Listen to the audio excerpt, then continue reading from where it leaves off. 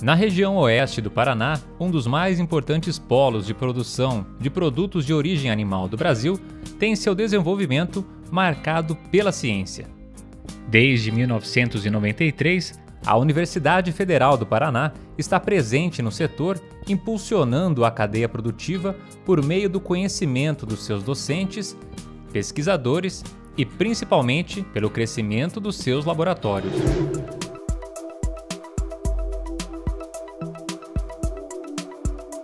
Entre os laboratórios que têm sua história ligada ao desenvolvimento do setor agroindustrial na região de Palotina está o Lacoma. Lacoma, então, é o laboratório de inspeção e, e controle microbiológico de alimentos e água, e ele, é, ele dá suporte é, tanto a, ao aprendizado, ao ensino, né, na, tanto no, nos níveis ali de ensino diferentes, na graduação, mestrado, doutorado. Também é um laboratório de pesquisa e é um laboratório também de prestação de serviço, de extensão de atendimento à comunidade, é, atendimento a indústrias, a pequenos produtores. A gente faz atendimento também, é, faz algumas análises para o hospital veterinário, por exemplo. É um laboratório que ele tem como objetivo trabalhar nos pilares da universidade, no ensino, na extensão e na pesquisa, voltado especificamente ao controle de qualidade de alimentos e de água principalmente de água para abastecimento e consumo humano e também água de, de indústria, né? sendo que é, esse controle de qualidade é especificamente voltado a micro-organismos, indicadores e patogênicos que são veiculados pelos alimentos. Completando 20 anos de existência em 2020, o Lacoma teve sua trajetória marcada pela vontade de construir um espaço de referência para a pesquisa. Com o campus ainda em construção, os pesquisadores responsáveis pelo laboratório deram um passo à frente para viabilizar o início dessa longa trajetória. É, nós chegamos em Palotina e não havia previsão de um local de trabalho específico para a nossa área. É, a gente chegou, era um campus ainda em construção, é, havia previsão de construção de alguns prédios ainda, mas nenhum que contemplaria a nossa área. Então a gente passou a ter duas opções, ou é, nos conformarmos e, ou a gente dá um jeito de arrumar algum lugar para trabalhar. Então é, a gente achou que precisava fazer a nossa parte também, que era é, captar recurso de alguma forma para colocar esse laboratório em funcionamento. Então a gente encontrou é, uma bela solução que juntou a, a, de certa forma a minha experiência teórica e prática com a microbiologia de alimentos com o caráter aqui da região, né?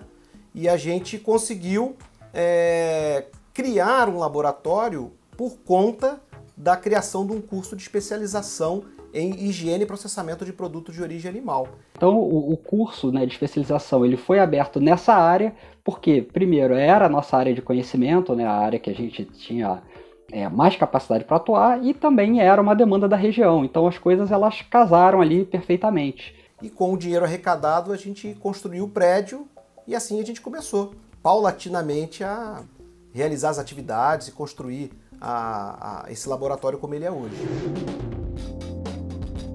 A construção teve o apoio da Prefeitura de Palotina, uma contribuição que marcaria o espírito acolhedor do oeste do Paraná. Eu senti assim uma, uma vontade de todos em nos fazer se sentir em casa, e a verdade é que eu sempre me senti muito em casa aqui na, na Universidade em Palotina. Então, acho que o que me marca muito nos meus primeiros passos aqui foi de fato a receptividade é, do município, dos outros professores e, não menos importante, dos alunos, que eram pessoas assim muito ligadas ao, aos professores, é, muito respeitosos, é, que ansiavam conhecimento e, e, e depositavam todas as esperanças nos professores. Isso foi muito marcante para mim. Um anseio materializado em suprimento para atividades práticas. Foi com o auxílio do centro acadêmico que o Lacoma realizou suas primeiras análises. Depositaram uma confiança muito grande né, na gente, no nosso trabalho, onde eles é, viabilizaram, inclusive, é, os primeiros meios de cultura para a gente fazer as nossas primeiras análises. Eu me lembro que eu fiz uma, uma pequena relação, claro, é, adequada ao momento, né? Um ou dois talvez até três meios de cultura, que são os insumos aí utilizados na, na, na semeadura e na, no cultivo de, de micro-organismos oriundos dos alimentos. E os alunos que pertenciam também ao centro acadêmico, eles prontamente foram lá, qual que é a marca que, que você precisa, comprar os meios de cultura. Então, as nossas primeiras aulas práticas em microbiologia de alimentos aqui foram dos meios de cultura doados pelo centro acadêmico naquele ano. Foi muito legal.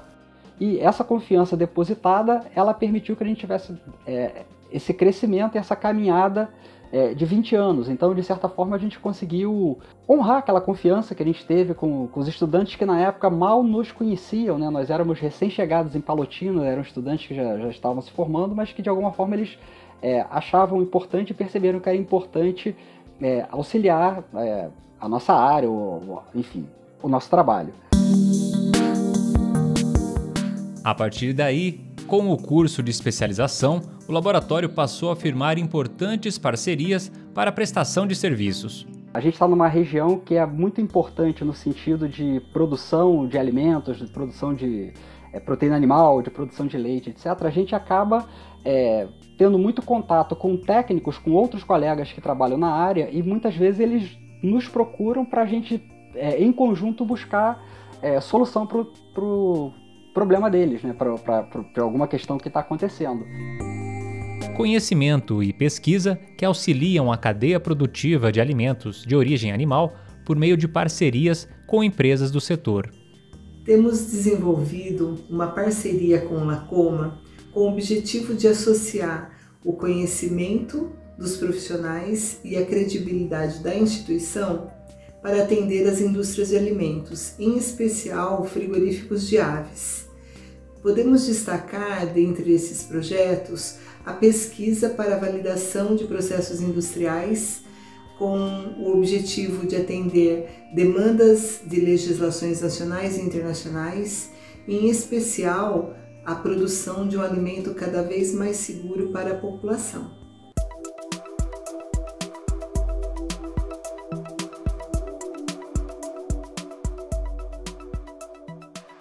Depois de todos esses anos de construção, o Lacoma hoje é um, é um espaço que ele tem um caráter muito forte na formação de recursos humanos, né, tanto na graduação quanto na pós, porque nós atendemos aqui alunos da medicina veterinária, do curso de biotecnologia, do curso de ciências biológicas, do curso de agronomia, do curso de aquicultura.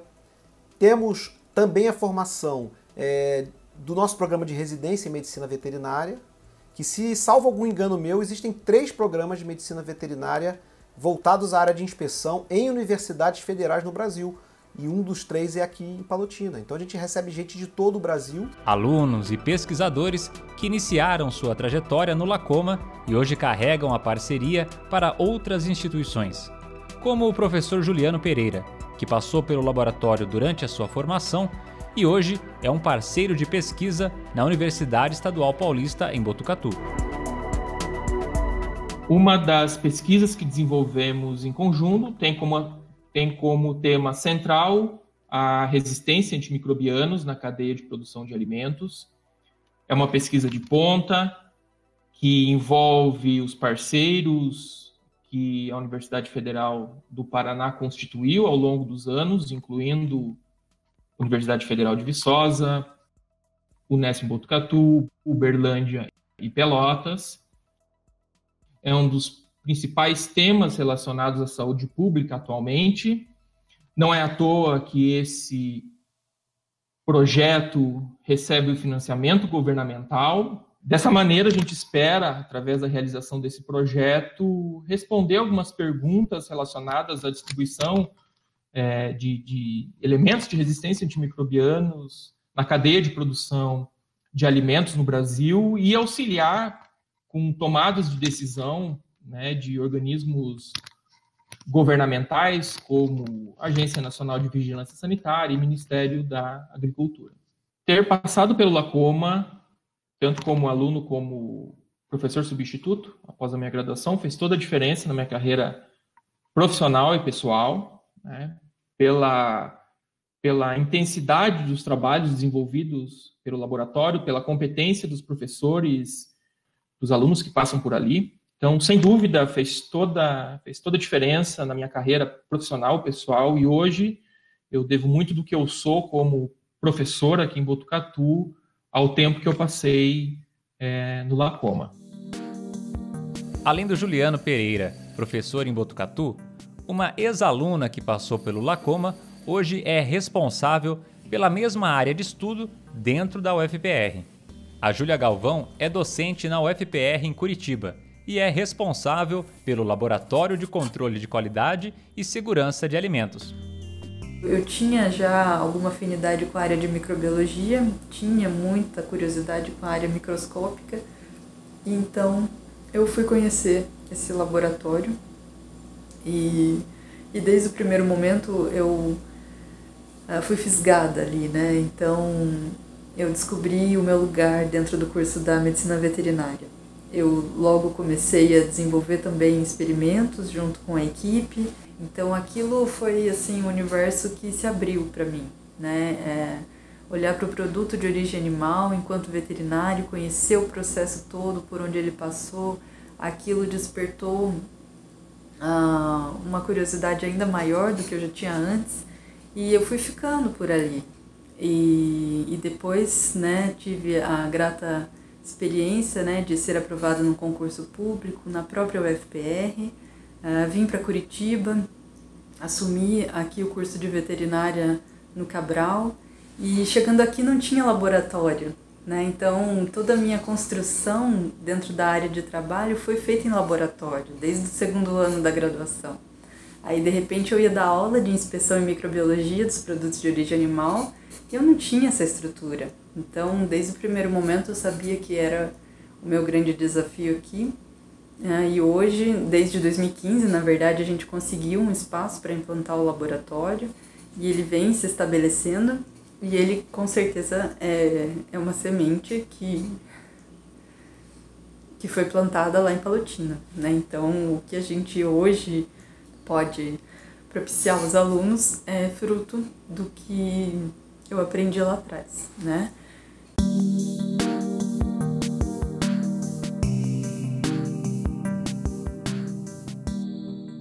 Cada aluno é, que entra aqui com cada projeto é, é diferente.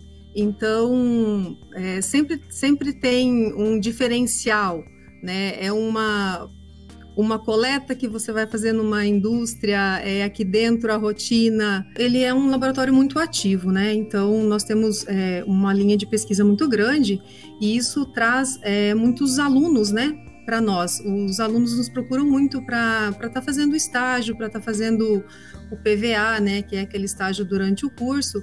E eu acho que isso para eles é muito importante, porque eles conseguem é, é, se preparar para fora, né? Para ter uma visão do que eles querem a partir da, da, da, formação deles. Eu acredito que isso seja muito importante. O aluno da graduação incentivado, ele se sente encorajado a dar continuidade àquele estudo. Ele vê, ele vislumbra a possibilidade de, após formado, continuar seu, a sua formação aqui dentro do nosso laboratório. Isso é muito bacana, isso é muito gratificante. Em 2014, o Lacoma passou por uma grande ampliação, possibilitada pela UFPR, dando assim continuidade ao desenvolvimento de suas atividades. E o laboratório, é, o que ele tem hoje de equipamentos, ele tem equipamentos que foram adquiridos, equipamentos de custos menores e de custos maiores, que foram adquiridos de projetos financiados por órgãos de fomento à pesquisa, e tem também recursos de editais FINEP para aquisição de equipamentos multiusuários. Então a gente tem equipamentos multiusuários aqui de, de grande robustez que atende a toda a comunidade, interna e externa. Então o laboratório hoje ele é isso, ele é um, um, uma grande união de esforços dos mais variados agentes, dos alunos ao poder público.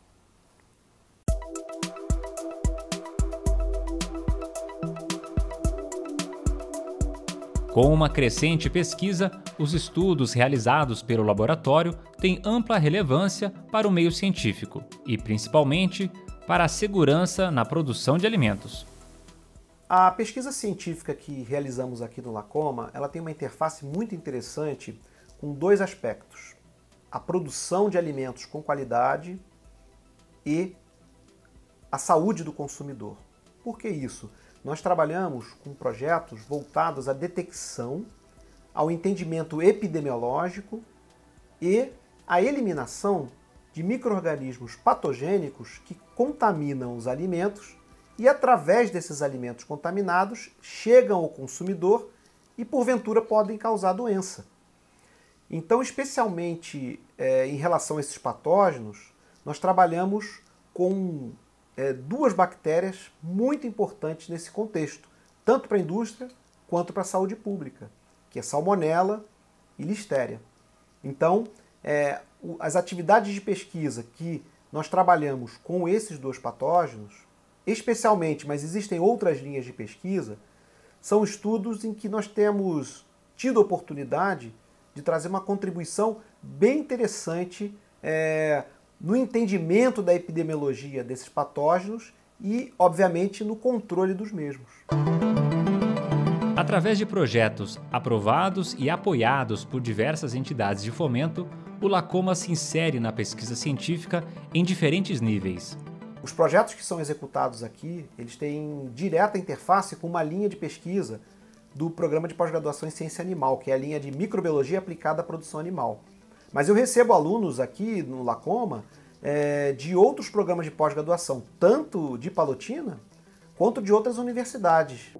É, o programa de pós-graduação, ele recentemente iniciou a primeira turma de doutorado, né, então isso possibilita é, outro espaço, né, possibilita a gente olhar para o horizonte e enxergar que a gente pode é, ir além, pesquisar mais profundamente algumas coisas, entender é, com mais profundidade alguns problemas que existem e, e, evoluir nesse sentido. Né? Então, a nossa ideia é, é aprofundar é, a parte de pesquisa, né? aprofundar, é, trabalhar mais perto do limite da ciência em algumas áreas quando a gente está falando de pesquisa e também a nossa ideia é continuar indo para frente.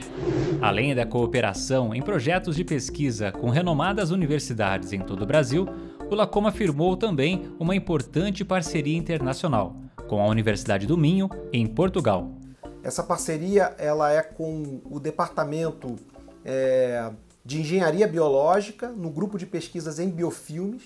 É um grupo muito forte, talvez um dos grupos de biofilmes mais fortes no mundo e que nós hoje criamos uma parceria que vem sendo construída e que já temos uma orientação em comum, já discutimos projetos. Eu já estive é, em Portugal para tratar de questões referentes a essa nossa parceria.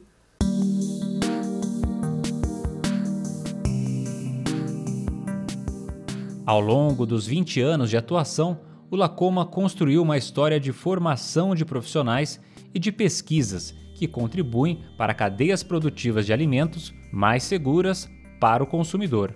Com a própria universidade pública, de uma maneira geral, ela é construída pelas pessoas que estão ali, né? Muito mais do que os espaços que ela possui. Se eu me posicionasse numa é, passivamente, é, aguardando que a condição de trabalho fosse criada, eu não sei se após 21 anos de universidade, que é o tempo que eu estou aqui, o quanto eu teria construído. Desde guardar a primeira vidraria na gaveta, fui eu que ajudei. Então, é, é muito prazeroso assim ver hoje como está o laboratório, ver tudo que a gente passou. É, mas é, é, é muita história assim que a gente tem, é muito bom. A gente é preparado para isso, para dar respostas ao agronegócio brasileiro, que precisa tanto né, de profissionais. Então eu tenho muito orgulho de ter feito parte dessa equipe de hoje, é, ser professora e estar atuando no serviço público na Universidade Federal do Paraná, pela qual eu tenho gratidão e carinho infinito. Eu acho que assumir o protagonismo também faz parte é, da construção da universidade.